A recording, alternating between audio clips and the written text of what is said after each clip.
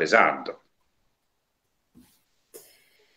Buonasera a tutti, grazie per essere qui. Eh, siamo all'ultimo incontro di questo percorso con il professor Alberto Banaudi, che ringraziamo per, per la sua gentilezza per aver eh, accettato il nostro invito. Lo ritroveremo nel mese di marzo, al, ah, di, nel mese di aprile, il 4 aprile, con eh, Don Luca Peyron a parlare nuovamente di intelligenza artificiale. Sarà un incontro eh, via Meet, quindi siete tutti invitati. E lascio la parola al, al, relatore, ricordo che questo incontro è organizzato dal Polo Cittativa per l'Astigiano e l'Albese dell'Istituto Comprensivo di San Damiano con Museo e Comune di Cisterna, con eh, la FRA SPA, l'ISRAT, la Libreria Il Pellicano di Asti e l'AINC. Grazie e buon ascolto. Buonasera, buonasera a tutti. Um, quella foto che, che che prima eh, si vedeva, non so se si vede ancora, io adesso per esempio non l'ho più inquadrata, però eh, non è importante. Eh, quella foto era una foto, eh, se avete fatto caso, di praticamente una burla, uno scherzo. Vedete, c'è un uomo che si sta pesando sulla bilancia e c'è uno dietro eh, che sembra, guardando anche il suo viso nello specchio, se guardate sulla sinistra della foto c'è uno specchio, che abbia un viso sostanzialmente afroamericano. E questo uomo che eh, l'afroamericano sta mettendo il piede sulla bilancia mentre l'altro si sta pesando, tanto per fare peso e sostanzialmente per burlarsi di lui. Ehm, è interessante, non so se mi sentite bene. Voi mi sentite bene? Sì, se, sì, ti sentiamo. Ah sì, non ci sono perché a me ho un piccolo ritorno e che devo cercare di vedere se, se riesco a risolverlo, forse sì. Allora, no, dicevo, eh, l'uomo che voi vedete, l'afroamericano, è, è, Barack Obama, è stato presidente degli Stati Uniti per due mandati. Questa è chiaramente una foto scattata, non certo a sua insaputa, è una foto scherzosa dove lui eh, si diverte a mettere il piede sulla bilancia mentre probabilmente un funzionario della Casa Bianca si sta cercando di pesarsi. Ehm, ed è un, un'immagine così, tenetela presente perché magari dopo ci, ci, magari ne parleremo. Eh, un'immagine buffa, un'immagine boh, di vita quotidiana se volete, no? uno scherzo, però è molto interessante. Adesso dunque dobbiamo finire questo discorso sull'individuum absolutum. Ehm, questa sera io toccherei sostanzialmente tre temi, tre temi che sono, diciamo, il titolo dei tre temi è il grande paradosso, il grande capovolgimento e la grande sostituzione. Quindi ehm, per dare un titolo, diciamo così, didatticamente eh, facile da ricordare, no? il grande paradosso, la, il grande capovolgimento e la grande sostituzione. Eh, ci tengo solo a ricordare però una cosa per me molto importante.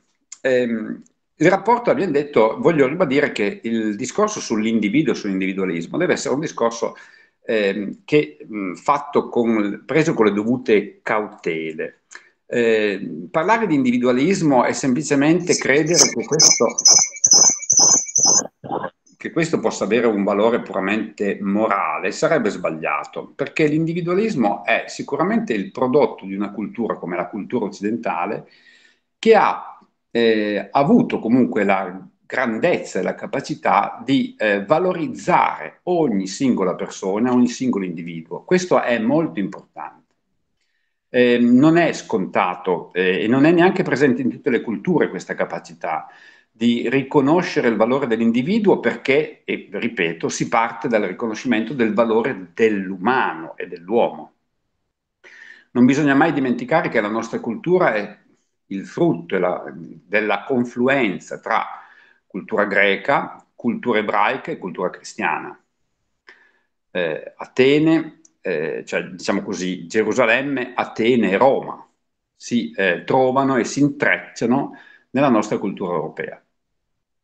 Ehm, e guarda caso queste sono le tre grandi culture che hanno saputo elaborare un'immagine dell'umano eh, che eh, forse altre culture hanno mh, neppure lontanamente riconosciuto e compreso.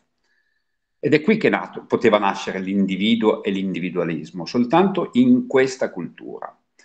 Quindi non possiamo, mh, come dire, sputare nel piatto dove stiamo mangiando, perché eh, l'individuo e l'individualismo sono in qualche modo anche possibilità eh, straordinarie nella vita umana. Certo è che un eccesso di individualismo eh, probabilmente ha portato la stessa cultura che ha prodotto questo fenomeno a riflettere e a chiedersi cosa è sfuggito, cosa non è andato, cosa non è andato bene. Beh, eh, diciamo pure che non è andato bene il fatto che nella, purtroppo nell'esistenza umana c'è sempre una tendenza a non saper riconoscere mh, il, il giusto mezzo, a non sapersi fermare nel giusto mezzo, sicuramente. E del resto, già all'inizio del Novecento, un grande sociologo come Emile Durkheim eh, aveva elaborato una coppia concettuale che è molto interessante. Lui contrapponeva il sociale all'individuale e diceva che il sociale può essere paragonato ed è l'equivalente del sacro, del sacrale, mentre invece l'individuale è l'equivalente di profano, quasi come se sociale indicasse una dimensione superiore, eh, una dimensione appunto, dicevamo, sacra, alla quale l'individuo deve sentirsi appartenere e di fronte alla quale l'individuo si dovrebbe anche piegare, rispetto a quella che è appunto la dimensione dell'individuo, che è una dimensione che potremmo dire di puri interessi personali rispetto a quelli della ben più importante collettività. Della ben più importante collettività. E, ehm, e quindi ehm, molto importante questa distinzione fatta da Durkheim per capire eh, come già all'inizio del Novecento si percepisse questo antagonismo, questa dialettica tra il collettivo e l'individuale, perché si stava percependo nel mondo occidentale una crescita esponenziale appunto dell'individualismo. Ehm, poi accenno già, forse a un grande motivo di questa crescita, è che la modernità, che ha dato pieno sviluppo a questo concetto, nasce in qualche modo all'insegna di una richiesta, di una grande istanza, che potremmo formulare in due parole, quella di avere più essere, più vita.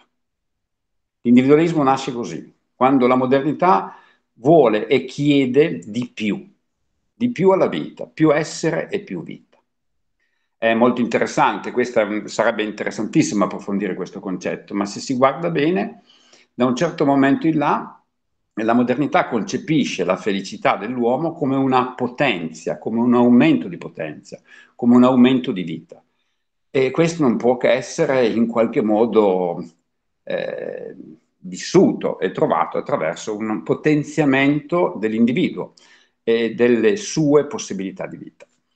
Ecco, tornando alla tesi di Durkheim, Durkheim dice da una parte c'è l'individuale e dall'altra sociale, cioè da una parte c'è il profano e dall'altra il sacro.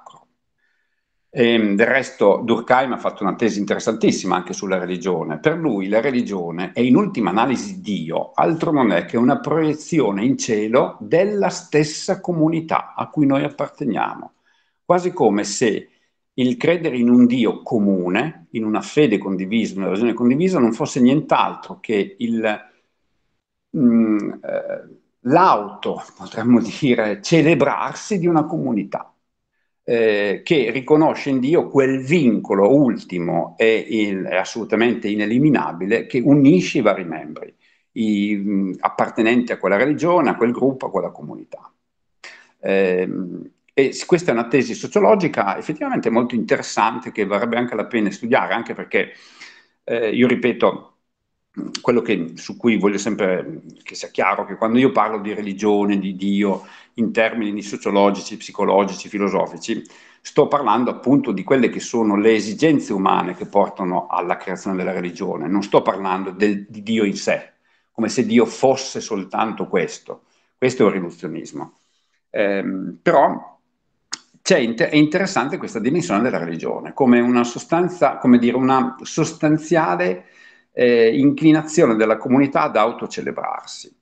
Ecco, mh, Durkheim appunto diceva sacrale è il sociale, sacro è il sociale e profano è l'individuo, è l'individuale. Ecco, questa però è una tesi molto pericolosa. Vi spiego perché. Con, paragone, contrapporre l'individuale al sociale. Eh, perché vuol dire mancare, manca un terzo termine, che è quello fondamentale. Perché che il Novecento abbia avuto una crescita esponenziale dell'individualismo a un certo momento in là, soprattutto nella seconda metà del Novecento, è abbastanza ovvio, perché quando si è visto che cosa i totalitarismi hanno saputo fare del sociale, del collettivo, è chiaro che la controtendenza non può che essere quella di celebrare l'individuale e la capacità di distaccarsi da, un, da un'appartenenza troppo forte a un gruppo, a una comunità. Però eh, il problema è che bisognerebbe inventare un terzo termine, o meglio, non bisogna inventarlo, bisogna semplicemente eh, ritrovarlo, che tra sociale e individuale c'è un terzo termine che è il relazionale. Ehm, e cioè noi abbiamo cominciato troppo, ma da troppo tempo, da, da secoli ormai, forse qualcuno direbbe da millenni, a pensare che il termine di riferimento essenziale della identificazione di qualunque ente sia la sua sostanza autonoma individuale. Già Aristotele diceva che cos'è una certa cosa? Beh, una certa cosa è Socrate, diceva. E poi quali sono le caratteristiche che la caratterizzano? Beh, Socrate è seduto, Socrate è in piedi, Socrate è vestito, è calvo, è grasso, è magro, eccetera. E sta parlando con Alcibiade o non sta parlando con Alcibiade. Cioè in pratica si parte da un'idea che esista l'individuo, cioè la sostanza individua, come punto di partenza di una qualunque definizione e che poi tutte le altre qualità, comprese le relazioni che questa sostanza individua intrattiene con altre, vengano dopo, cioè siano come nell'analisi logica, diciamo spesso, complementi di eh, invece un soggetto. Qual è il soggetto? Dimmi qual è il soggetto, il verbo e i complementi. Ecco, forse in questa analisi logica si nasconde un, un nostro problema metafisico, e cioè quello di non aver riconosciuto che in realtà l'individuo è molto meno forte di quello che immaginiamo. Noi siamo molto più relazione di quanto si possa immaginare. Ehm, perché il bambino comincia a esistere quando la madre gli sorride. Eh, noi esistiamo quando gli altri ci sorridono ed è difficile immaginare che ehm, una metafisica pro- profonda non possa, cioè non, non si ricordi di questo, di quanto noi siamo relazione, di quanto noi siamo prima di tutto legati allo sguardo dell'altro. Eh, lo sguardo dell'altro ci fa essere, ci fa vivere. Eh, scherzando potremmo dire video, nel senso di passivo di video in questo caso, non di, del verbo sembrare, ma sono visto ergo sum, oppure amor nel senso di sono amato, ergo sum. Quindi così nasce il bambino, nasce in una relazione e quindi più che individui bisognerebbe cominciare a parlare di condividui, cioè ehm, siamo gente che condivide. Ehm, ed ecco perché, appunto, dicevo, la mia riflessione alla fine non vuole nient'altro che ricordare questo terzo termine, no? tra sociale, collettivo e individuale c'è relazionale. Ed è il termine che dobbiamo riscoprire, secondo me. Così come dobbiamo riscoprire il fatto che lo sguardo degli altri e lo sguardo forse anche di un altro con la maiuscola, eh, ci rende no, capaci di stare al mondo in una certa dimensione. Per esempio, parliamo del, eh, del grande paradosso, vi dicevo, no? la prima cosa di questa conferenza. Eh, l'altra faccia dell'individuum absolutum, se vogliamo, è proprio il conformismo absolutum. È curioso, questo sì che è un grande paradosso, ma come? L'individualismo che nasce sulla base della ricerca di più vita, di più essere, di più e quindi autenticità, capacità di esprimersi, capacità di essere noi stessi, finisce col eh, conformismo. Beh, questo è interessante. Ci sarebbero chissà quante eh, soluzioni in questo, in questo, di quante interpretazioni. A me piace usare questa, cioè se non c'è più lo sguardo dell'altro con la maiuscola, quell'altro che ci faceva essere e ci faceva essere qualcosa dotato di valore comunque e sempre, eh, in, come noi siamo e come noi possiamo essere. Eh, e quindi il riferimento a un'alterità che ci trascenda viene meno, che può essere, notate bene, l'alterità di Dio, che può essere l'alterità della patria, della verità, della giustizia o anche della bellezza, di alcuni grandi valori che giustamente Nietzsche indicava come le stelle del cielo metafisico, che poi alla fine lui aveva eh, dichiarato in qualche modo nella loro assolutezza morte dicendo che Dio era morto. Se la modernità comincia a dispiegarsi pienamente, a dispiegare le proprie vele con questo motto diciamo Dio è morto, Beh, allora, e con lui sono morte tutte le grandi stelle, allora non c'è più lo sguardo dell'altro, dell'altro con la maiuscola. E allora non può che esserci, non può che rimanere per noi lo sguardo degli altri con la A minuscola, cioè, detto in poche parole, i like. E scherzando, scherzando potremmo dire, è una società laica, ma questa volta laica lo scrivete lica con la K, cioè eh, scherzando sul gioco che ho appena fatto di parole, è una società laica, fatta di like. Per cui quando una società è fatta di like, quando noi siamo troppo attenti allo sguardo degli altri, beh, il, il, il passo do, due passi dopo c'è il conformismo, ovviamente. O peggio, c'è quella forma di esibizionismo apparentemente originale che invece è la più terribile forma di schiavitù nei confronti del conformismo e nei confronti degli altri. Per cui l'opinione pubblica, il giudizio altrui, ormai anche interiorizzato. Pensate che addirittura già nella fine del Settecento si parlava di uno spettatore eh, impersonale. Ognuno di noi è come se agisse davanti a uno spettatore impersonale. È interessante. E in pratica è chiaro, questo porterà sicuramente a conform- eh, comportamenti conformi, quindi è il buffo esito, no?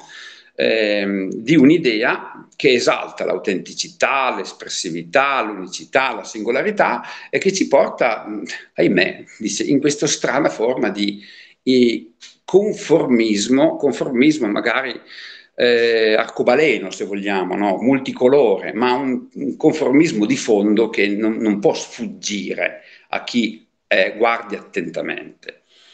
Viene da ricordare quell'episodio bellissimo di Rabelais in Gargantua e Pantagruel, quando eh, ci troviamo, siamo di fronte a una sorta di abbazia la cui regola era solo fac quod vis, fa ciò che vuoi. Cioè ognuno poteva fare esattamente ciò che voleva.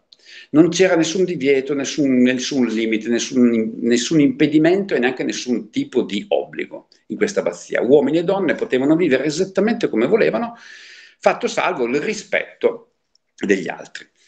Eh, quando si a un certo punto il protagonista torna in questa abbazia dopo un anno, scopre che, un anno dalla fondazione, scopre che in realtà fanno tutti la stessa cosa. Eh, è interessante, eh, ovviamente è, è, anche interessante il fatto che in Rabelais questo abbia un significato positivo, perché Rabelais non aveva una riflessione, non stava riflettendo sul tema su cui sto riflettendo io adesso, lui semplicemente si era posto il problema dicendo ma eh, quale sarebbe la più perfetta educazione? Diceva, è, è, un'educazione che invece che porre limiti, um, creare obblighi, divieti, eh, più che altro invece che far usare l'energia alle persone o a trasgredire i divieti o a obbedire dei comandamenti che non sentono propri, semplicemente liberamente si affidino a ciò che viene dalla loro natura. Ma Rabelais credeva tanto alla natura umana e credeva che la natura umana potesse esprimersi in modo appunto naturale. Eh, noi invece, io, almeno io per esempio, sono un po' più pascaliano e credo che per, persa la prima natura col peccato originale, qualunque altra natura potrà, l'uomo potrà rivestire. E a quel punto eh, c'è il rischio davvero che il conformismo diventi un momento, anzi un pericolo letale. Comunque, ehm, questo è per quanto riguarda il grande paradosso no, dell'individualismo, cioè grande individualismo, grande autenticità, espressività, notate bene, autenticità e espressività che noi vediamo eh, in qualche modo decantati in tutti i modi, anche per esempio il tatuaggio. Adesso io non, mi sono fermato a fare un lungo, una lunga disamina di questa strana cosa che è il tatuaggio, ma il tatuaggio è molto interessante ehm, quando una persona decide di mh, mm, scrivere o occupare una parte della sua pelle eh, con un disegno, un disegno che perlomeno mh, mm, si vorrebbe o ci si immaginerebbe indelebile. Eh, beh, è una scelta molto forte, molto radicale. In fondo, rimanere con la pelle scoperta, la pelle nuda, vuol dire riconoscere in ultima analisi un'appartenenza alla specie umana eh, che, mh, mm, per cui noi riconosciamo che veniamo, siamo nati così, no? Te, torneremo alla fine della nostra vita così, con questa pelle nuda. Eh, che è un segno comunque di, di accettazione, no? di accettazione di qualcosa che ci trascende. Tatuarsi potrebbe essere già il segno di un individualismo eh, crescente, eh, perfino mh, ingombrante per dire io invece non accetto di appartenere alla specie, in un certo senso io mi tatuo, eh, mi marchio e a qualche modo appartengo solo a me stesso. Ehm, ed è interessante, poi possono essere tante cose, oppure esprimo attraverso questo marchio qualcosa di mio, di me, eh, che non può essere, che deve essere espresso assolutamente in questa forma unica eh, sul mio corpo. C'è poi anche un aspetto interessante del tatuaggio, comporta sofferenza e in una società di giovani che non hanno più il rito di iniziazione, un po' di sofferenza è una forma di, eh, possiamo dire, iniziazione surrogata. Però, ehm, oppure pensate a quell'altro concetto che è la cultura gender, che, al cui cuore c'è la queerness, cioè l'essere queer, bizzarro, strano, quindi, ripeto, io non sto discutendo della cultura gender per quanto riguarda tutto il settore, di, tutto un ampio settore della cultura arcobaleno, che è quello per esempio degli omosessuali o degli transessuali, i quali appartengono a pieno titolo alla vecchia cultura di genere, cioè sostanzialmente eh, il transessuale, per esempio, che da maschio vuole diventare femmina, beh, è il primo a riconoscere che esistono chiaramente delle differenze di genere eh, così come l'omosessuale che vuole eh, vivere la sua omosessualità rimanendo esattamente quello che è. Bon. No, io sto parlando dei queer. La, il, al cuore, secondo me, della gender theory c'è proprio il queer, cioè il bizzarro. Quello che mh, decide a piacimento di essere un giorno una cosa e un giorno l'altra. Lì il cuore di quel tipo di mh, idea, secondo me, è proprio l'iperindividualismo. Questo è l'individuum absolutum. Questo dice decido io cosa sono. Eh, non permetto più che la natura, che la mia anatomia, che i miei genitori, che la società dicano cosa sono io. Io dico cosa sono io.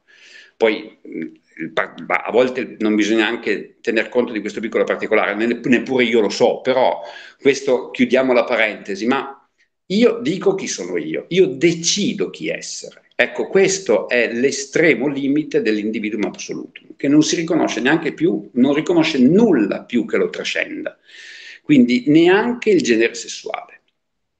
E, ehm, addirittura a volte dietro la richiesta spesso insistente di ragazzi di, di questa cosa ci può essere anche il fatto, è una protesta, a volte segreta, a volte inconscia, eh, nei confronti di un'eccessiva, eh, come dire, ingombrante presenza del materno, eh, a volte lo sfuggire esattamente addirittura alla, al proprio genere sessuale. È un modo per dire qualcosa, cioè un modo per dire ma io, eh, io dove sono, io cosa faccio, eh, io chi sono. Potrebbero esserci mille ragioni psicologiche, non sto discutendo di questo, però certamente l'idea che si possa a piacimento decidere cosa si è e cosa non si è, può essere, eh, al di là del fatto che sia giusto o no, è un modo interessante per eh, eh, mostrare che cos'è diventato l'individuum assoluto di oggi.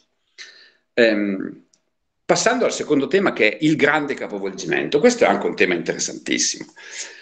Quello del fatto che la modernità, quella del secondo illuminismo, aveva sostanzialmente unito la scoperta dell'individuo, o meglio la riscoperta dell'individuo, ehm, a quella del valore dell'uguaglianza.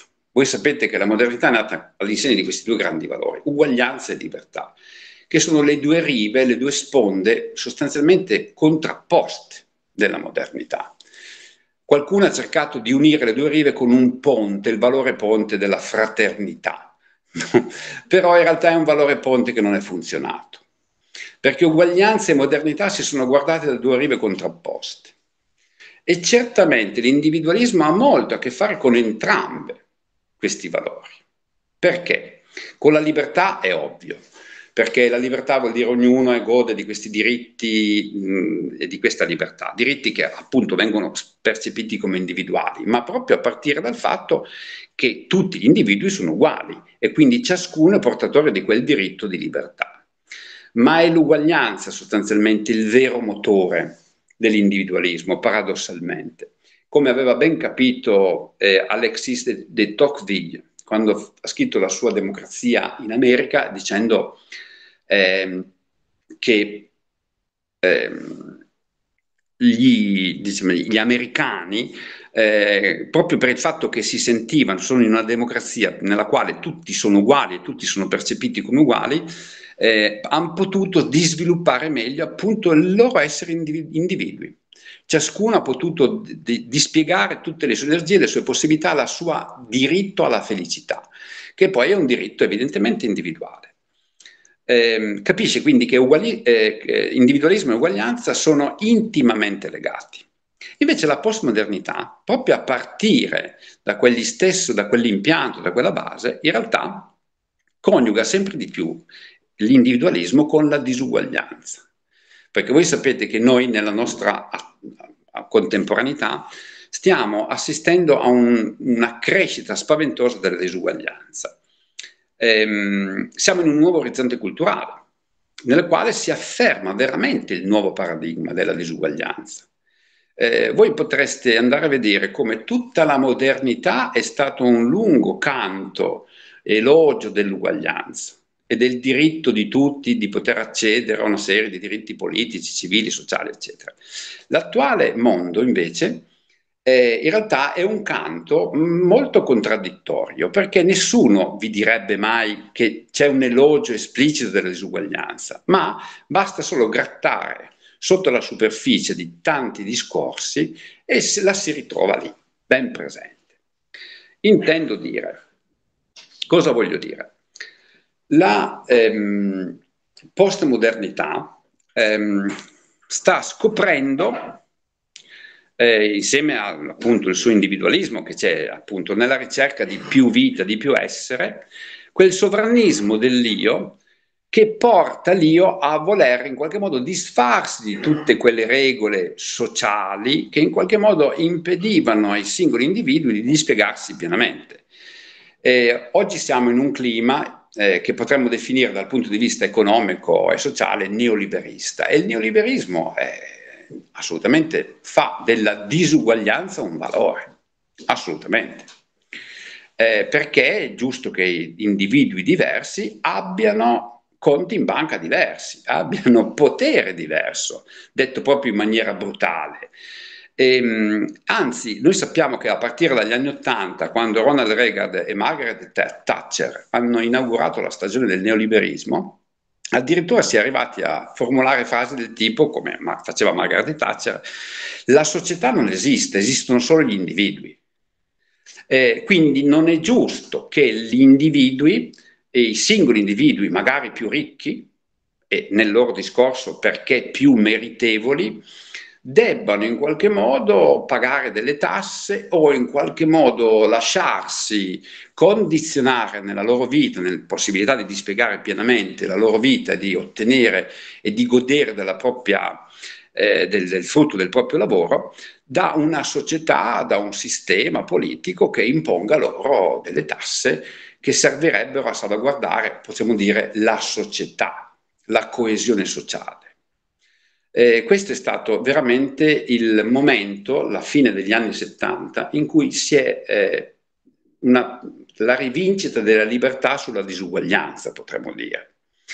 Eh, e sarebbe interessante anche capire perché anni, dalla fine degli anni 70 ha cominciato questa rivincita. Eh, sarebbe anche, secondo me, interessante vedere quanto il valore dell'uguaglianza nel periodo precedente eh, sia stato funzionale agli interessi dell'intera società. Perché una società industriale in cui le guerre sono ancora guerre fatte dagli uomini, guerre di massa, è chiaro che il valore dell'uguaglianza è importante.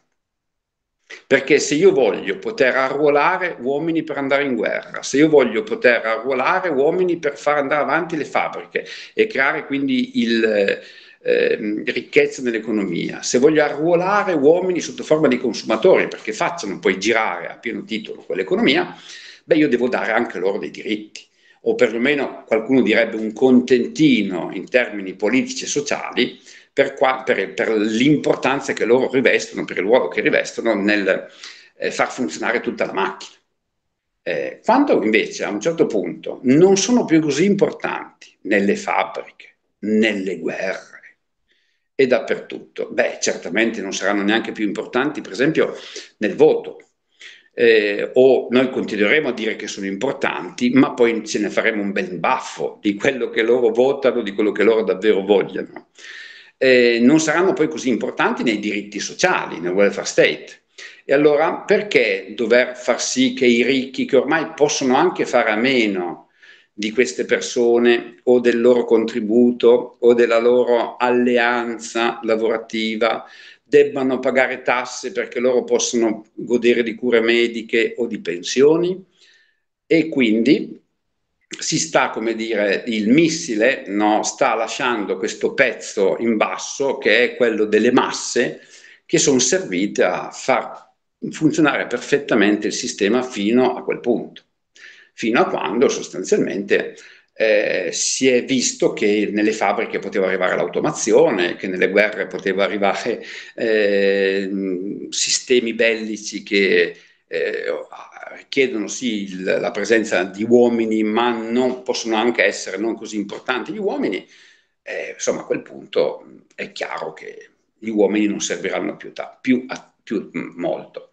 E quindi la disuguaglianza verrà meno e ritornerà in auge quell'altro valore che noi chiamiamo libertà, ma che poi è la libertà di qualcuno di poter godere del proprio potere e di poter usare il proprio potere per condizionare anche tutti gli altri attraverso per esempio le ideologie che si affermano in questa nuova fase, in questo nuovo paradigma in cui l'individualismo è declinato insieme alla disuguaglianza.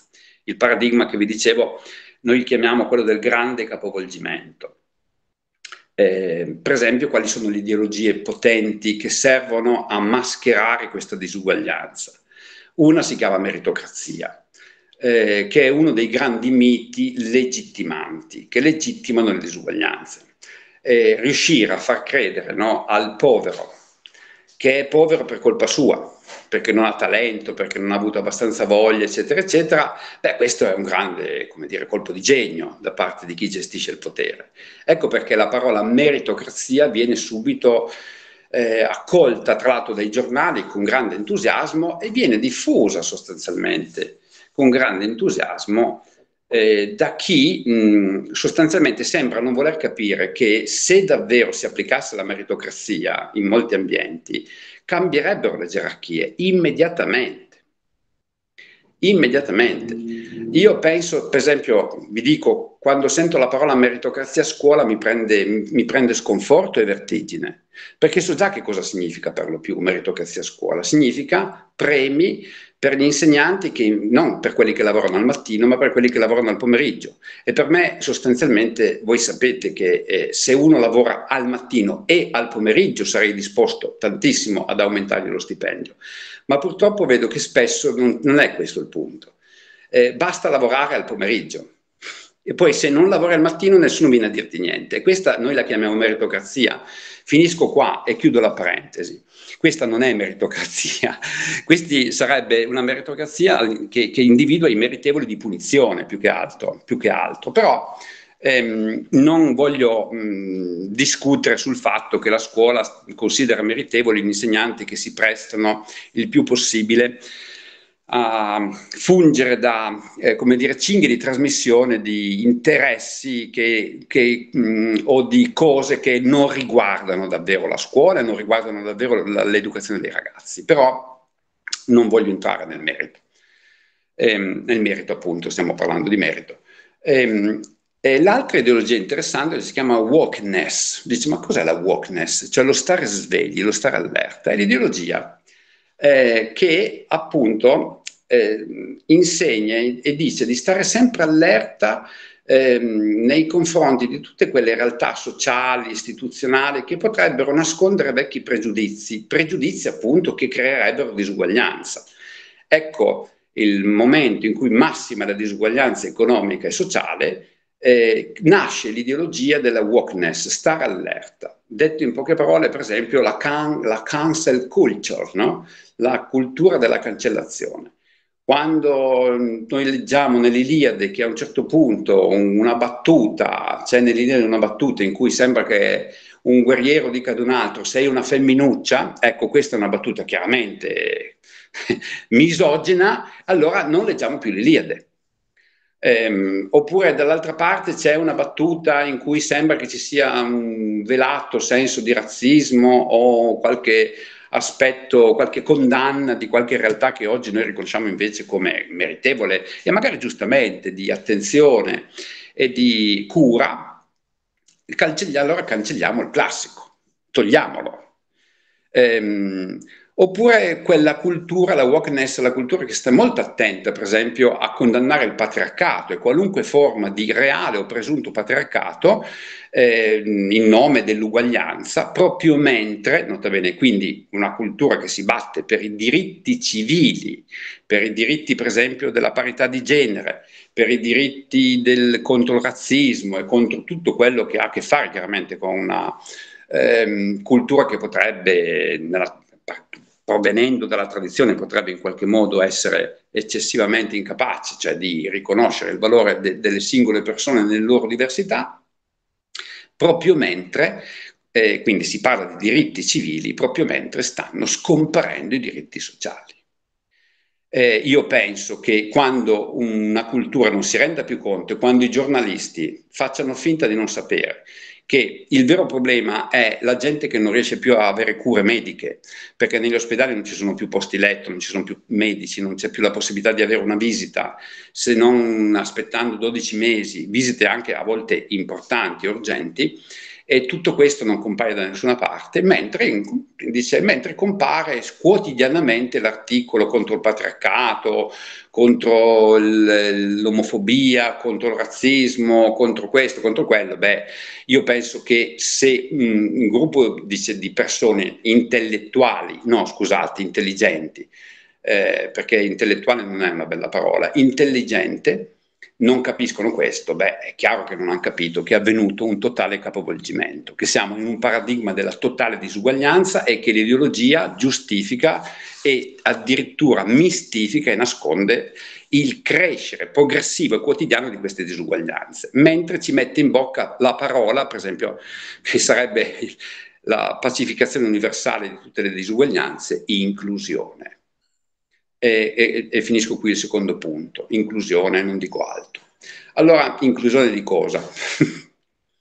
inclusione mentre sta avvenendo la più grossa esclusione della storia di chi non ha mezzi economici per poter addirittura accedere a una cura? a meno della storia perlomeno del, degli ultimi anni e qualcuno ci dice ma non ti devi lamentare perché ai tempi eh, di Giulio Cesare ai tempi del Medioevo le cose andavano anche peggio perfetto perfetto, mi, mi, sembra, mi sembra, come un, un, bel ragionamento. Allora, il terza cosa è la grande sostituzione. Eh, la grande sostituzione è, su, è, quel tema dell'intelligenza artificiale, cioè eh, che è presente chiaramente nel titolo, ma giustamente. La grande sostituzione. Ma cosa intendiamo qui? Beh, quando diciamo intelligenza artificiale, voi sapete benissimo cosa intendiamo tutto ciò che ha a che fare con algoritmi, con l'automazione, con chat GPT, se volete, che è un'ultima manifestazione dell'intelligenza artificiale, ma non è certo l'unica. i GPS sono intelligenza artificiale, ad esempio, eh, chissà quanti altri servizi e applicazioni che utilizziamo sfruttando l'intelligenza artificiale, che hanno reso la vita decisamente più comoda e decisamente più facile, diciamocelo pure con l'individuo assoluto. Ma beh, semplice, dice, com'è che si è arrivati al, vi dicevo già l'altra volta, al, all'iPhone. L'iPhone è veramente nasce sulla base di una richiesta, la richiesta di, sempre dell'individuo di poter avere il mondo tra le mani, un mondo a misura di questo individuum assoluto, di questo atomo. E la stessa richiesta di tecnologia parte in qualche modo da questo. Ora qualcuno mi potrà dire, ed è giustissimo, che molta della tecnologia che noi utilizziamo nasce prima di tutto in ambito militare. dopo arriva a noi, ma da noi si diffonde proprio perché c'è questa richiesta.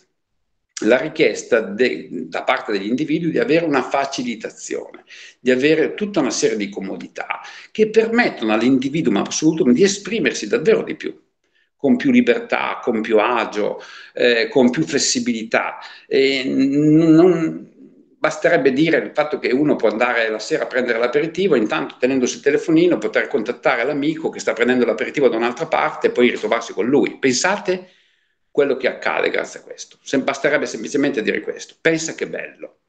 E, e, e dove lo possiamo collocare questa, queste esigenze, queste richieste? Beh, in quello che vi dicevo prima, nella grande domanda da cui nasce la modernità dal punto di vista etico esistenziale avere più vita, più essere. Questo è ciò che cerchiamo che vogliamo. Più vita e più essere. E la tecnologia sembra nascere proprio per questo, o meglio, sembra venire anche incontro a questa richiesta. Ovviamente non è nata lì e per questo inizialmente, però certamente questa istanza di fondo, questa richiesta di fondo, questa grande esigenza di più vita e più essere non può che aver, come dire, incentivato la ricerca tecnologica anche nella creazione di tutta una serie di applicazioni che non hanno nulla a che fare col mondo eh, militare, ma che hanno a che fare con il mondo civile, la vita quotidiana, che servono a rendere la vita più facile all'individuo. Quindi eh, l'intelligenza artificiale è sicuramente nasce in questo contesto dell'individualismo, o meglio, nell'individualismo non può che trovare veramente il suo contesto ottimale. E non possiamo pensare che ciò che capita nel mondo delle abitudini morali, etiche, non sia in qualche modo collegato a ciò che capita nel mondo della tecnologia. Anzi, c'è una relazione bionivoca tra i due, perché l'uno richiama l'altro, l'uno potenzia l'altro. Si tratta di un circolo, chiamatelo voi, vizioso, virtuoso, chiamatelo come volete. Però ehm, è interessante vedere come appunto con questa tecnologia, questa intelligenza artificiale, la storia possa davvero prendere anche una nuova piega. Infatti una bella domanda sarebbe, qualcuno dice, ma l'intelligenza artificiale è la fine della storia? Qualcuno direbbe è il fine della storia e, ehm, e, qualcuno invece dice no, è la fine della storia umana, eh, quando gli uomini cesseranno di essere davvero importanti nel decidere le azioni, nel compiere quelle che i greci chiamavano praxis, cioè che è poi l'azione soprattutto politica, perché qualcun altro o qualche cos'altro si sostituirà a lui nelle grandi decisioni.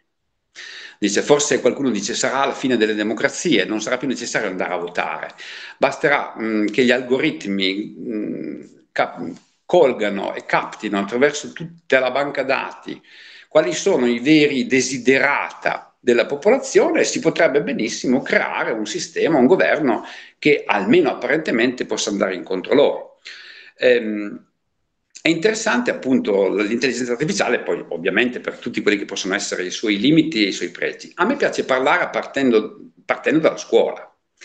Ehm, per esempio, vi dicevo, ci sono molti cambiamenti nella scuola. Ehm, l'altra volta dicevamo la centralità dello studente, chiamiamolo lo studente narciso, che eh, deve in qualche modo essere al centro del discorso educativo. Lui quando eh, apre i libri, quando lui eh, entra in classe, non deve vedere, per esempio, qualche cos'altro, deve trovare sempre se stesso.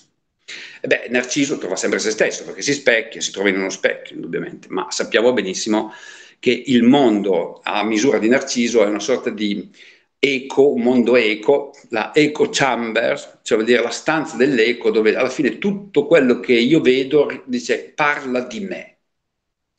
E questo è, ripeto, è interessante e inquietante, no?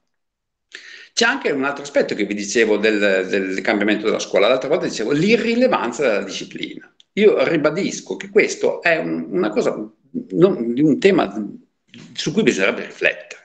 Ma l'irrilevanza della disciplina. Adesso io l'ho detto brutalmente, è chiaro che non troverete mai un discorso così brutalmente mh, buttato lì. Perché dico l'irrilevanza della disciplina? Perché si ha l'impressione soprattutto in certe discipline, eh, che eh, la disciplina sia diventata una specie di trompe d'œil, cioè una specie di finestra dipinta. La disciplina dovrebbe essere la, qualcosa che ti permette di accedere al mondo. L'altra volta quando io vi dicevo al centro non ci deve essere né lo studente né il professore, c'è la disciplina, ma cosa vuol dire la disciplina? Adesso mi spiego meglio non vuol dire qualcosa di fatto di regole, di, di nozioni, di cose mh, brutalmente oppressive, come qualcuno direbbe, ma no, assolutamente.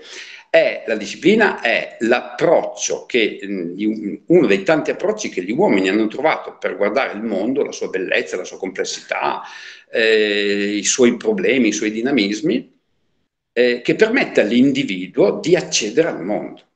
Ed è un, al di là dei suoi contenuti specifici, veramente la, una formazione a sviluppare un certo tipo di logica, un certo tipo di capacità di conoscere i propri limiti nell'approccio a queste, questi, al modo in cui la disciplina si avvicina al mondo. Eh, e quindi, secondo me, dire la disciplina vuol dire dire la bellezza del mondo, vuol dire dire che c'è altro rispetto a noi che è molto interessante. E siccome gli uomini da sempre vogliono in qualche modo avvicinarsi e conoscere questo altro, eh, è giusto che anche i ragazzi capiscono, entrino in questa lunga, antichissima tradizione, no? che è quell'approccio a quell'altra cosa che è la realtà, quel mondo, che è più grande di noi, che ci trascende.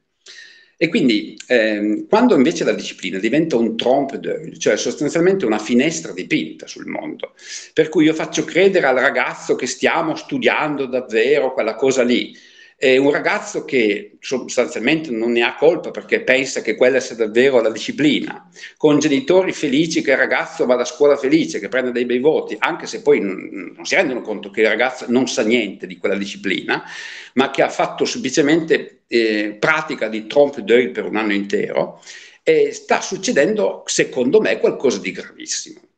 Ma da cosa viene questo? Beh, sì, la centralità dello studente, o se volete c'è un'altra cosa che potrebbe essere interessante. Il fatto che molto si insista sulle famose competenze, quando si dice non, noi non dobbiamo avere le conoscenze, ma le competenze.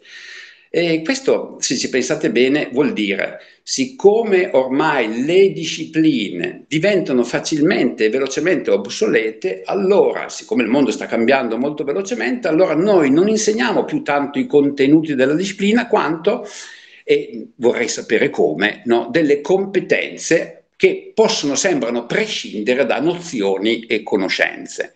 Dio solo sa come si possa formare una competenza in qualunque campo senza partire dalle nozioni e dalle conoscenze.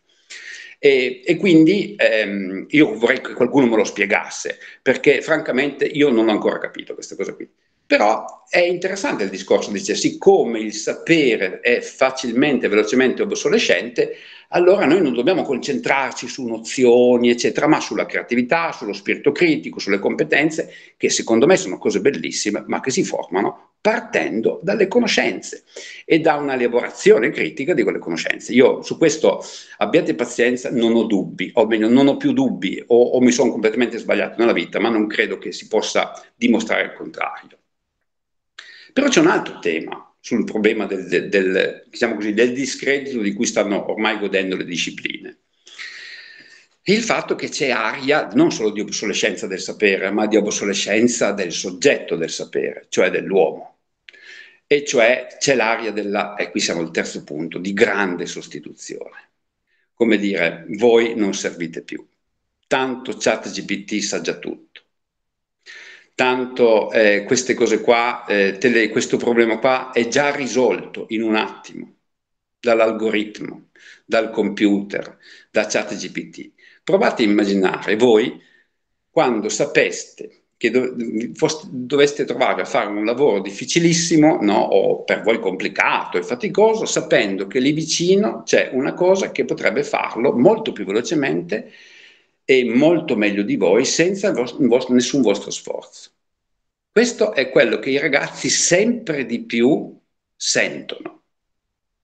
E quindi qui c'è aria di grande sostituzione perfino dell'essere umano. Possiamo dire che eh, scherzando, come nelle fabbriche siamo passati dallo, dice, dire, dallo sfruttamento all'irrilevanza, anche qua sembra nel mondo del sapere, della scuola, si è passati no? dall'eccessivo affaticamento dello studio della disciplina all'irrilevanza di qualunque studio, visto che tanto c'è qualcosa o qualcuno che sa già, ma è l'irrilevanza dell'essere umano. E quindi si comincia a dire tanto cioè, rilevante è la forza fisica, lo facciamo fare al robot, è la capacità di calcolo, irrilevante è anche il sapere nozionistico, irrilevante è saper fare riassunti, irrilevante è saper fare i temi, irrilevante è saper risolvere i problemi di fisica e allora irrilevante è l'essere umano alla fine, cioè dal punto di vista del, da, da questo punto di vista. E tutto questo è interessante, nasce nel contesto della ricerca di più vita e più essere che è il contesto dell'individuo assoluto. Come dire, noi dovremmo trovare, abbiamo cercato qualcosa che ci facilitasse la vita in tutti i modi per permettere a, a noi, alle nostre energie, di poterci dispiegare, poter sviluppare la nostra personalità, le nostre energie, magari in direzioni diverse rispetto a ciò che potrebbe essere il lavoro faticoso di spostare dei massi o Dio non voglia di risolvere dei problemi o di, risol- o di tradurre una versione di latino. Visto che è già tradotta, dice perché devo tradurla io? È già tutto tradotto. E, e, allora voi dite, ma allora si può sviluppare il pensiero creativo del ragazzo, bellissimo, no? Quindi dire, ma no, allora va bene, invece che tradurre il latino, prova tu a scrivere un testo, ma in latino? No, perché non lo sai latino. Allora, prova a scrivere un testo italiano creativo in cui dimostra la tua creatività. I ragazzi ci, a questo gioco giocano volentieri, però poi i risultati sono chiari, sono assolutamente mediocri, perché la grande creatività e il grande livello critico e creativo si sviluppa certamente anche a contatto no? con lo studio di quello che è stato con l'apprendimento al limite anche faticoso, ma che ti permette di entrare nei meccanismi di ciò che è stato fatto, di ciò che è stato prodotto in precedenza. E, ehm, e questo è interessante, questo, questo rapporto con l'intelligenza artificiale. Secondo me è molto interessante perché ehm, alcune domande bisognerebbe farsele. Mm, non bisognerebbe essere né apocalittici né troppo facilmente integrati con questa cosa. Perché l'essere apocalittico, secondo me, non, non so quanto possa aiutare di fronte a una cosa che tanto arriverà. E secondo me porterà anche tante cose interessanti perché io penso a quanto possa aiutare in tante dimensioni e settori della nostra vita quotidiana, come di fatto fa già. Ehm, il, su questo io non ho dubbi, non ho proprio dubbi sul quanto, mh, e, quanto di positivo c'è in queste scoperte, che sono umane, sono, sono cose fatte dagli uomini, non vengono da Marte. Ehm, sarebbe interessante però appunto cominciare innanzitutto a porsi la domanda, ma che cosa sono queste intelligenze artificiali? Perché poi ci sono facili a volte risposte. Da una parte c'è quello che ti dice, ah no, questi sono l'intelligenza artificiale del futuro che arriverà addirittura a prendere il potere su di noi e addirittura ci farà fuori, sapete, sono storie fantascientifiche. Altri che invece ridi- ridicolizzano queste paure a dire ma cosa vuoi? È come pretendere che il tuo cavallo sappia parlare della partita dell'Inter di ieri sera, no? pensare che ChatGPT possa davvero pensare E infatti è interessante questa, questa, discussione. Ci sono, possiamo dire, quelli che sono apocalittici, che dicono, caspita, l'intelligenza artificiale è la fine della storia. Ci sono invece i perfettamente integrati che ti dicono è il fine della storia, cioè è ciò verso cui noi tendavamo irresistibilmente trovare qualcuno che faccia tutta una serie di quei lavori che noi sentivamo pesanti e forse ormai inutili, per sviluppare nuova creatività e far sì che le nostre energie, che prima spendavamo in compiti a volte così penosi, possano essere indirizzate, per esempio, su, in nuovi campi alla creazione magari di, appunto, di nuovi lavori, di nuove discipline, tutto è bellissimo. Io penso però che si debba collocare come sempre nel giusto mezzo. Mi spiace qui essere così aristotelico, ma il giusto mezzo è quello di chi sa vedere gli aspetti positivi, sa porsi anche le domande sui possibili rischi. E sa porsi per esempio anche questa prima domanda, ma ChatGPT pensa davvero? Perché ehm, se voi avete già provato a interagire con lui è molto interessante, è straordinariamente interessante è capace di darti in pochissimo tempo risposte articolate che a volte mh, fai fatica a trovare nelle migliori classi di un liceo. Eh, per cui tu dici, ma cosa è avvenuto? Beh, ChatGPT, noi sappiamo, qualcuno lo definisce un pappagallo statistico, cioè semplicemente non fa nient'altro che andare a visionare tutto quello che c'è in rete su quel tema e ne fa una specie di, di, mm, come dire, di sunto mm, statistico di quello che tutto sommato sono la, le informazioni che vanno per la maggiore sul, sul sito, sul web. Pappagallo statistico. Qualcun altro dice, beh, mm, è un'espressione un po' riduttiva per ChatGPT, perché ChatGPT non è stato, non è le risposte che lui vi dà non sono nate da programmazione, attenzione, è qui che comincia a diventare inquietante la cosa, ma da addestramento. ChatGPT non nasce per, solo per programmazione, c'è un momento di programmazione, ma c'è molto di addestramento, quello che viene chiamato ormai il deep learning, cioè l'apprendimento profondo eh, sono state costruite delle reti neurali profonde, artificiali, le chiamano reti neurali, che a strati riescono a, addestrate, per esempio, a vedere tante immagini di un certo tipo, alla fine piano piano a imparare a riconoscere in un'immagine un cane, a imparare a riconoscere una persona, una faccia, a individuarle in mezzo a altre milioni di facce o mille facce eh, queste sono cose portentose, ma queste nascono da addestramento, non nascono solo da programmazione. Questa è la grossa differenza di questa nuova intelligenza artificiale. Ed è per quello che i ragazzi non possono che eh, essere attirati dall'utilizzo di questa chat GPT nel fare un tema, perché a volte le risposte che vengono date sono assolutamente in linea con quelle che è il sapere che si trova sul web eh, sì, bisognerebbe dire che a volte c'è il rischio un po' di conformismo, perché effettivamente pescando da, da, da, tante informazioni che sono sul web e su quelle che vanno per la maggiore, ChatGPT ti dà alla fine una risposta che potrebbe essere un po' troppo conformista. Credo che se nel 1859 avesse dovuto valutare eh, l'origine della, del, dell'uomo di Darwin, l'origine della specie di Darwin, l'avrebbe bocciata perché in effetti allora con le informazioni che avevano sarebbe stato davvero impossibile accettare questo tipo di sapere. Come dire, l'uomo qualche volta potrebbe davvero batterla e, ehm, e io credo proprio di sì, che si possa davvero batterla. Eh, però è interessante come di fronte a questa domanda, ma pensa o non pensa? Pensa davvero o non pensa davvero? Simula come qualcuno dice, ci sono alcuni filosofi che dicono è solo una simulazione di intelligenza. Qualcun altro dice aspetta, è molto più vicina alla eh, produzione di pensiero intelligente che alla simulazione di pensiero intelligente. Ma del resto io penso che un insegnante questa domanda se la sia già posta di fronte a certe interrogazioni. Ma questo sa tutto a memoria, simula intelligenza o è intelligente? E, e quindi ci, dice, scherzosamente potremmo dire ci sono degli studenti che sono quasi alla pari di ChatGPT su, su certe cose. Sto scherzando, ma non troppo, perché anche capire cosa significa pensare davvero sarebbe un capitolo della filosofia molto molto interessante. Perché se noi dovessimo dare, dire cosa significa pensare?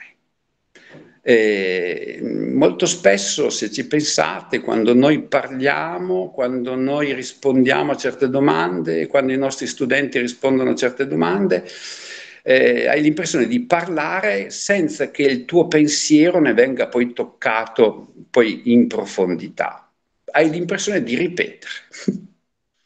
e c'è qualcosa di simile in noi di, a ChatGPT. Eh, per cui qualcuno giustamente dice questa è la grande quarta ferita al narcisismo umano. Pensate, la prima fu quella di Copernico, che ci buttò fuori dal centro del sistema solare. La seconda fu Darwin, che ci disse che eravamo come scimmie, che siamo fondamentalmente animali. La terza è quella di Freud, che ci dice che l'io non è neanche padrone a casa sua, per cui c'è l'inconscio che lo domina. La quarta è questa. Siamo stati, come dire, anche ormai eh, raggiunti, per non dire tra breve, surclassati cognitivamente, perché a noi almeno mantenevamo questo primato. Siamo noi gli esseri che pensano. E che invece ChatGPT è qui che insidia questo primato. Ora, io non so, non sono così uh, addentro a queste cose qua, però mi piace pensare che questi problemi inquietanti possano e ci, ci debbano dare da pensare. Però è interessante una cosa, ehm, ricordarsi, secondo me, quello che io penso è questo, che ChatGPT, diversamente da noi, ehm, non ha un corpo di carne. E l'avere un corpo di carne vuol dire avere desideri, paure, pensieri, vuol dire avere quella caratteristica tipica della mente umana che è l'intenzionalità, cioè il nostro pensiero ha sempre, è sempre volto verso un oggetto, ha sempre un'intenzione. Io posso pensare a un ricordo, posso avere una tristezza, ma il mio pensiero si intenziona verso quell'oggetto, quell'oggetto di pensiero. Io ho tanto l'impressione che invece l'intelligenza artificiale non abbia l'intenzionalità come non abbia né desideri né tristezze per adesso e credo che non sia difficile che ce le abbia fino a quando non avrà un corpo di carne, perché è il corpo di carne che si è evoluto in un mondo, in un ambiente naturale, con i suoi pericoli, con le sue attrattive, con le sue bellezze, che può davvero sentire, percepire e quindi volere. ChatGPT non vuole, noi vogliamo. E questa è una differenza immensa. Ora, a questo punto, eh, ricordandosi questo, trattiamo pure ChatGPT come se stesse pensando. Va benissimo, anzi, utilizziamolo come un assistente. Potrebbe essere uno straordinario assistente come era diventato un assistente la calcolatrice, anche se non dobbiamo usare questa analogia, perché la calcolatrice è una cosa, ChatGPT è un'altra. Questo ChatGPT è molto più invadente, terribilmente invadente, con le sue risposte. Però è interessante eh, imparare, secondo me, a vedere i suoi rischi, che sono evidentemente quelli di poterci in qualche modo eh, manipolare con certi algoritmi, perché io penso, per esempio, pensate al rischio, faccio solo un esempio, il rischio di, um, in campo medico di eh, alcuni algoritmi legati ad alcuni sensori bi- biometrici decidono che tu possa in qualche modo ricevere delle cure mediche solo se hai condotto un certo tipo di vita. Se non hai condotto una vita sana, tipo se tu ti sei lasciato cadere sul divano e alla sera hai mangiato troppe patatine guardando la televisione, non avrai diritto alla cura. Eh, il sensore biomet- biometrico è lì, con grazie all'algoritmo, e tu non sfuggi, lo sa e le cure non ti arriveranno, l'ASL non accetterà di curarti perché tu non ti sei guardato, riguardato bene. Certo, giustissimo, però se la persona in questione è una signora che eh, lavora tutto il giorno in un lavoro che non gli piace, arriva a casa e l'unico piacere che ha o finto piacere che ha è quello di buttarsi su quel divano e mangiare le patatine, che gli dà la sensazione di essere viva o di non essere completamente priva di piacere nella vita, beh, eh, la cosa diventa un po' più complicata. Il rischio che quell'algoritmo sia un algoritmo che favorisce chi ha un certo tipo di vita sana e cioè che alla fine che ha anche certe possibilità che altri non hanno. Ed eccoci qua, è l'algoritmo qui discrimina, ma potrebbero essercene tanti altri esempi. Del resto, per esempio, l'algoritmo della guida autonoma eh, si potrebbe impostare e chiedere alle persone, secondo te, come lo impostiamo il, l'intelligenza artificiale delle macchine a guida autonoma? Che quando vedono 10 pedoni che stanno, una, una scolaresca che sta attraversando le strisce pedonali, si fermi per non investirla e piuttosto faccia un incidente o devi da un'altra parte, eh, causando la morte semplicemente del conducente dell'auto, invece che dei 10 bambini che stanno attraversando la strada. Tutti sottoscriverebbero una cosa del genere per la macchina degli altri ed è lì che sarebbe interessante capire quando diciamo ma i valori dell'algoritmo, sì, ma il problema è quali sono i valori umani, come sempre, e scopriremmo di nuovo che c'è dietro l'uomo. Queste cose qua, c'è sempre dietro l'uomo, i suoi pregiudizi, i suoi interessi, le sue intenzioni, l'uomo fatto di carne. Ehm, e quindi anche questo, su certi rischi dobbiamo fare molta attenzione cercando di capire da dove nascono. Eh, non voglio mh, dilungarmi su quelli che sono chiaramente tutta una serie di rischi anche a scuola, eccetera, l'utilizzo indiscriminato di queste cose qua. Propongo semplicemente due cose. Uno, di riconoscere che mh, senza corpo di carne ChatGPT non sarà mai un'intelligenza umana. Mi spiace, lo dico, e, mh, mi, mi, mi assumo la responsabilità di quello che dico, casomai tra due giorni vi scriveranno sul giornale che non è così ma temo che sia come dico io, fino a che non c'è un corpo non ci sarà una vera intelligenza.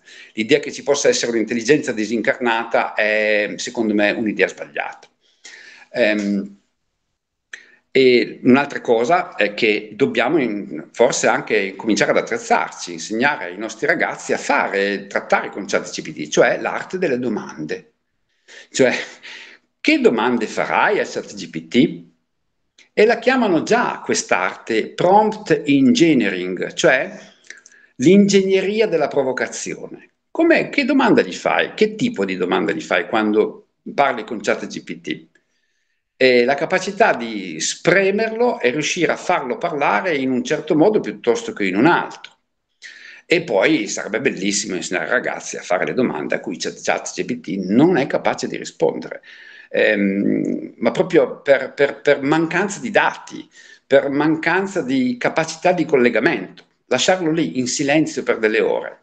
Mi è, mi è capitato di vederlo. Ha fatto certe domande di rispondere 12 ore dopo con una risposta assolutamente banale. Ehm, perché la domanda non, non rientrava in quello che si aspettava lui. E infatti era semplicemente una domanda che non era la classica domanda che si trova dappertutto. Quindi insegnare un po' di psicologia di ChatGPT, la psicomatica, magari un po' di retorica per trattare con ChatGPT la retormatica, la argomentomatica, cioè cominciare a forse anche a mm, provare a interagire. E come dice alla fine, eh, giustamente qualcuno dice imparare eh, a interagire, ma per imparare a interagire, giustamente ha detto un grande esperto dell'informatica, bisogna continuare a scrivere, possibilmente a mano. E questo mi fa ridere, no? Perché dice è la scrittura a mano è quella che ci rende capaci di argomentare, di dare una linearità e un ordine al nostro pensiero. È una prima capacità di controllo che è fondamentale per non diventare appunto schiave di ChatGPT, cioè per fare in modo che impariamo, diciamo così, come dice, a fare in modo che ChatGPT sappia servire, non asservire. E qui cito Don Luca eh, Peyron, ehm, col quale si parlerà ad aprile, eh, che trovo interessantissimo quando per esempio dice, eh, ho letto un suo articolo bellissimo di questo prete che lavora a Torino, alla Cattolica di Milano, e vuole insegnare ai giovani a interagire con eh, con spirito critico, ma con spirito sereno con questi eh, strumenti come ChatGPT. Eh, quando dice, lui dice, bisogna che eh, nel futuro bisogna sapere che non, vin- non vincerà la legge del più forte, ma la legge del più vivo, cioè di chi ha mantenuto in vita questa nostra intelligenza solo umana.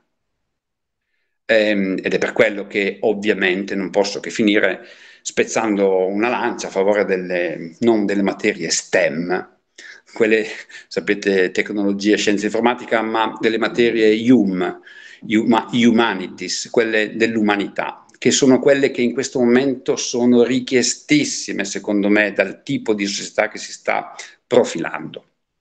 Ah, finisco. Cosa c'entrava la foto con Obama che mette il piede sulla, sulla bilancia? Avete visto, no? Quella foto è complicatissima da capire troviamo un presidente degli Stati Uniti che scherzosamente mette il piede su, sulla bilancia dove c'è un tizio che si sta cercando di pesarsi e il quale vedrà comparire un peso sicuramente superiore rispetto al suo e magari proverà anche angoscia di fronte al fatto che sarebbe ingrassato di qualche chilo con quel piede che gli ha messo Obama sopra. E vedete che tra l'altro c'è uno specchio sulla parte sinistra, sul lato sinistro, ci sono persone dietro che guardano e probabilmente ridono. Eh, questo è quello che potrebbe essere dice, una scenetta divertente. Beh, sappiate che ChatGPT non potrà mai capirla. Fino ad oggi non può capire questa scena. Perché come si fa, per esempio, come fa a distinguere, che, capire che quella persona che si vede di là è uno specchio? Lui che è stato addestrato a riconoscere le persone, guardate che capire che è uno specchio non è facile. Oppure perché deve pensare che c'è qualcuno che sta scherzando? E soprattutto non può neanche capire che l'altro è sulla bilancia, perché quei pixel bianchi eh, per lui non avrebbero poi il significato di bilancia, che noi invece vediamo benissimo, basta capire quel piede dietro di Obama e si capisce immediatamente che è una bilancia. Eh, ma non lo capiamo attraverso l'ironia, lo scherzo. Eh, ChatGPT gli stanno insegnando, notate bene, interessantissimo, anche il buon senso vorrebbero insegnargli che lui ancora non ha, ma lo humor lo trovo un po' più difficile. E poi soprattutto il desiderio, quel desiderio che è tipico di un corpo incarnato, non so quando sarà mai possibile. Quindi ehm, dall'individuum absolutum finiamo sperando che questo individuum più che assolutum si riconosca un individuum in relazione con gli altri e sappia capire che il tempo che ci aspetta è un tempo dove bisogna ritrovare la relazione e la capacità di relazionarsi tra uomini, tra umani, accettando, eh, boh, forse anche di vergognarci un po' per il fatto di essere solo uomini in carne ed ossa, ma forse è questa la nostra grandezza. E quindi, peraltro, sapendo che eh, dovremo morire e quindi siamo invitati, sentendo veramente l'invito potente della vita all'essere vivi proprio dal fatto che eh, siamo condizionati da questa nostra mortalità. Ehm, io ho finito, sono già stato fin troppo lungo questa sera, eh, vi ringrazio dell'ascolto. Grazie, come sempre. Eh, se ci sono, ci sono dei, degli apprezzamenti al, al tuo intervento, eh, se ci sono delle domande, Simonetta Paola Ferrero, se, se vuole leggere il suo intervento. Non sono domande, però. Eh, sì, scusate, l'avevo perso. Ma no, semplicemente quando parlava di meritocrazia mm, mi, mi veniva un po' da ridere perché con Combinazione abbiamo fatto una riunione di istituto la settimana scorsa in cui il direttore ha esternato il fatto che le valutazioni individuali fatte finora negli anni passati hanno provocato disuguaglianza e competizione, per cui è stato diciamo, un danno per l'istituto. Per cui da quest'anno si cambia il tipo di valutazione, si fa per gruppo, per ufficio, in modo appunto da evitare queste distorsioni volevo sapere così cosa pensava il professore. No, sì, ehm, io dico che eh, è interessante, la cosa, la cosa veramente, l'esperimento più interessante è che ci siano voluti degli anni per capirlo, cioè che questa cosa qui avrebbe creato semplicemente dei dissapori e nessun potenziamento del lavoro dell'istituto o dell'azienda. Eh, ripeto, io mh, che per mille ragioni posso anche mh, capire il problema vero del merito, della meritocrazia, però so che è inutile, è utopico immaginare che possa essere eh, applicato in un certo modo, con un certo rigore, ma in assoluto, qualunque sia il criterio di, di valutazione del, del, partendo dalla meritocrazia. Io sarei più per una demeritocrazia, cioè semplicemente segnalare quando ci sono chiari abusi o chiare mancanze da parte di qualcuno. Eh, più che quello di voler premiare dei migliori, eh, io mh, mm, guarderei più che altro, mi guarderei da quelli che abbassano troppo il livello complessivo di un istituto non lavorando. Ecco, io penso che quello sarebbe già un buon criterio. Mi stupisce che non si sia capito che invece eh, facendo delle valutazioni, apprezzamenti che darebbero più come dire, visibilità o renderebbero in qualche modo più, più bravo o più bello qualcuno che po- possa davvero questo valere qualcosa eh, anzi vale semplicemente a scoraggiare gli altri e magari persone che lavorano quotidianamente e molto bene, ma semplicemente non hanno le physique du rôle del mettersi in mostra, del salire sul palcoscenico o del dedicare delle ore in più aggiuntive, perché magari non può, perché per impegni familiari fa già i salti mortali per poter garantire ai propri studenti una lezione dignitosa, una lezione seria. E poi troppo, troppo spesso, visto che i premi vengono dati, uh, ripeto, agli insegnanti del pomeriggio, cioè, cercate di capirmi, no? Io il, invece sarei di quelli proprio che insiste molto sugli insegnanti del mattino. Poi ci sono anche cose del pomeriggio che valgono, e valgono nella misura in cui davvero sono, come dire, coerenti con il lavoro del mattino e sono in qualche modo aggiunte, potenziamenti, anche cose nuove, del tutto nuove, ma che non vengono minimamente a eh, ridurre e a ledere il lavoro, cioè in qualche modo a risultare lesive del lavoro del mattino. E invece purtroppo, purtroppo questo lo vedo spesso. Grazie, la stessa conclusione a cui è arrivato il nostro direttore. Sono contento, buon segno. C'è una domanda, il superuomo di Nietzsche è l'individuo assoluto? Eh, non ho capito la domanda, sì? Su? Superuomo di Nietzsche è ah, l'individuo sì. assoluto? Eh beh, certo, certo. Eh, il superuomo di Nietzsche sarebbe stato anche questo, una bellissima incarnazione dell'individuo assoluto, esatto. Mm. Eh, del resto Nietzsche aveva letto, diciamo anche segretamente, Stirner, Max Stirner, l'unico e la sua proprietà. Stirner è stato l'inventore dell'anarchia e filosofica è colui che ha dato dell'individuum assolutum la prima straordinaria definizione, l'unico che sarebbe ciascun singolo, ciascun individuo, e la sua unica proprietà, che dice è il suo corpo. E questo è quanto esiste. Io esisto, non esiste nello Stato, nella patria, né Dio, né nell'umanità, tutte queste sono astrazioni inutili esiste solo l'individuo, esiste solo l'unico e la sua proprietà. Nietzsche lo ha letto questo libro e lo ha anche consigliato, sappiamo benissimo, a un suo alunno, poi non l'ha mai citato perché giustamente i grandi rubano, eh, sono i mediocri che, che copiano, quelli come me che citano, eh, devono citare i, gli altri, i grandi, ma loro invece rubano, prendono un... Um, eh, un autore, se lo saccheggiano, eh, se lo rielaborano in maniera quasi riconoscibile e poi tu te lo ritrovi, eh, non sai più che lui l'ha letto, invece è proprio questo. Il, il superuomo Nietzsche è l'individuum absolutum, che addirittura è arrivato a accettare pienamente, anzi godere e considerare un evento lieto la morte di Dio, cioè la morte di qualunque limite valoriale, etico, esistenziale che potesse in qualche modo frapporsi tra lui e la sua assoluta, eh, la, l'assoluta novità della sua potenza, della sua realizzazione.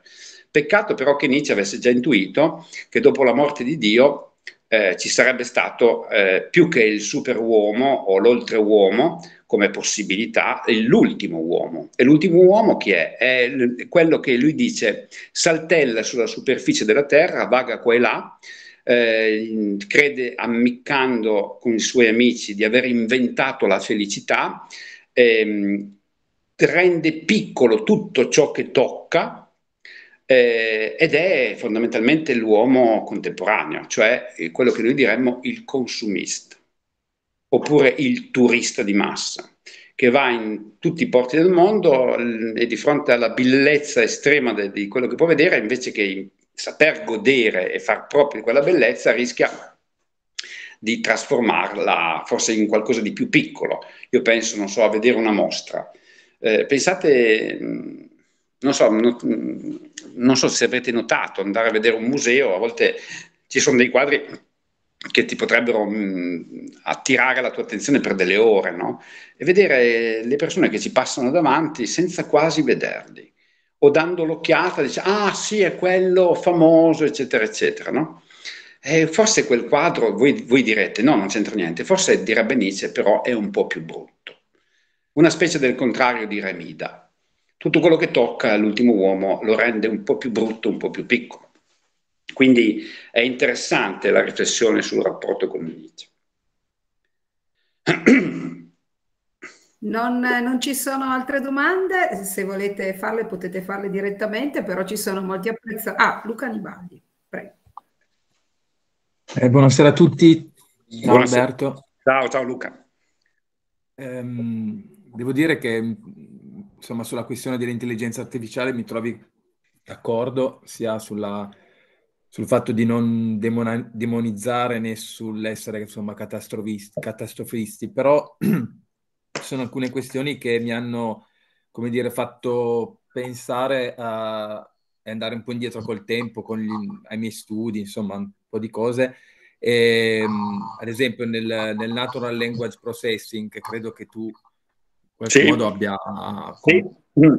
contato, conosciuto, certo. eh, uno dei, appunto, dei, quisi, dei quesiti, una delle, delle mh, mm, questioni aperte era la, la, pragmatica, cioè il fatto che comunque noi, umani, noi umani riusciamo a capire se, ad esempio, un, eh, io, io, adesso dicessi, ah, ho visto passare un pinguino, magari mia moglie chiude la finestra perché lo capisce che, sì, sì, sì. Certo. che è un freddo, ecco, cosa che invece, diciamo, per le macchine, ma perché appunto la, l'apprendimento viene fatto certo. chiaramente per riportarsi a determinati schemi.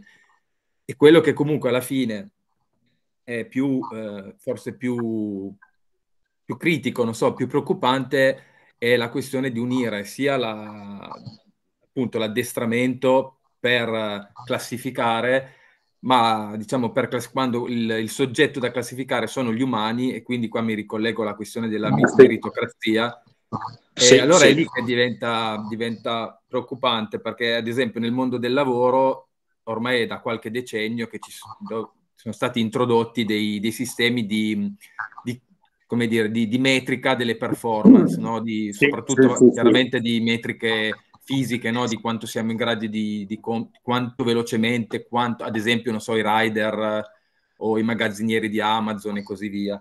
Certo, certo. Ma, anche, ma, anche, gli impiegati, anche le persone che, i programmatori, quante righe di codice riescono a fare, quanti bug introducono e così via. E questo è, sì, è preoccupante perché nel momento in cui non c'è un, un, supervi- un supervisore umano che eh, riesce appunto a, anche a discernere fra l'impossibilità di poter andare oltre, ad esempio, un certo obiettivo, insomma. Certo. È, è questo che diciamo, è, ed è anche la, il motivo per cui, ad esempio, nel mondo del, del, del, lavoro, quindi nel sindacato, ci sono diverse istanze per eh, non lasciare mano alla, all'applicazione di certi tipi di, di strumenti. Ecco. Sì, sì, sì, parole sacrosante. Infatti, tra l'altro, mh, ci si poneva anche in sede europea la domanda quanto sì. permettere a queste telecamere, a questi eh, rilevatori biometrici di dati di poter entrare negli ambienti di lavoro, di poter entrare nella scuola, perché addirittura ci sono rilevatori di emozioni, cioè si rischia di raccogliere dei dati di, un, di una, dire, intimi, eh, che potrebbero essere utilizzati chissà come, chissà quando. Cioè, no, no, ma infatti qui bisogna proprio, devo dire che l'Europa almeno si sta ponendo la domanda appunto di creare una legislazione, almeno la domanda se la si pone, altrove pare che la domanda non se la pongano affatto. Mm. Eh, no, giusto, giusto. Ci sono delle altre domande? No, non ci sono, ma ci sono grandi apprezzamenti per, per l'incontro, per il tuo intervento. E lascio le conclusioni a Tiziana. Vi aspettiamo il 4 Grazie. aprile. Grazie. Tanto saluto tutti, colgo l'occasione. E grazie di avermi seguito. E spero che, ecco, che ci siate con eh, Don Luca. Don Luca Perno perché ho capito che è una persona di, di valore che sa, secondo me, affrontare queste cose con grande garbo e con grande competenza. E, peraltro devo dire, faccio di nuovo i complimenti a Cisterna, che è il gruppo di Cisterna che riesce a organizzare incontri con personaggi significativi come lui. Ma noi siamo mosche, siamo mosche cocchiere, cioè, eh, sì, ma...